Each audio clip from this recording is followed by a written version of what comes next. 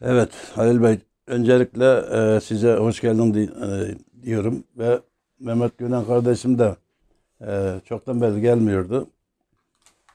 Ona da hoş geldin diyelim. Mehmet da arada sırada geliyor sağ olsun. Bugün e, yeni misafirlerimiz var. Tabii ki bu e, kalabalığın amacı da e, derneğimizin yönetim kurulu üyelerinden Seydi Kalenderimizin de bir kitabı çıktı. Ee, bununla dernek üyelerimizden dört kişinin kitabı çıkmış oldu. İlk kitabı ilk göz ağrısı. Bayağı emek verdi. Herhalde zannedersem 2014'ten bugüne kadar yazmış olduğu eserleri bir kitap haline getirdi.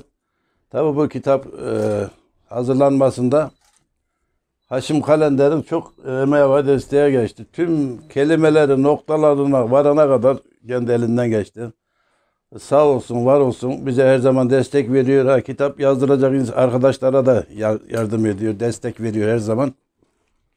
Elinden de geliyor. Onu da esirgemiyor kimseden sağ olsun.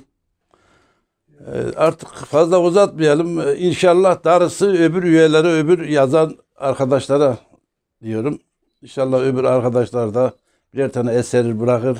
Çünkü dünyada bir eser bırakmak çok benim için çok önemli bir şey. Seydi Baba'nın da ilk eseri, ilk göz ağrısı çıktı. Evlatlarına, torunlarına bir eser olarak kalır. E, piyasada kalır. Edebiyata e, destek amaçlı e, üniversitelerde çok çoğumuzun kitapları var. E, güzel bir şey. Öbür arkadaşlara da tavsiyede bulunurum. Her zaman dernek olarak da destek veririz. Kim kitap bastıracaksa inşallah e, ona da desteğimizi esirgemeyiz. Maddi, manevi her konuda ben varım. E, Haşim Baba da dizaynısında olur inşallah. Maddi, manevi her konuda derneğimiz destekçileridir. Kitabını yaptırmak isteyenler söylesin. Yaparız inşallah. Hayırlı olsun diyorum kardeşime. Sağ olsun, var olsun. Ellerine sağlık. Teşekkür ederim. Olun.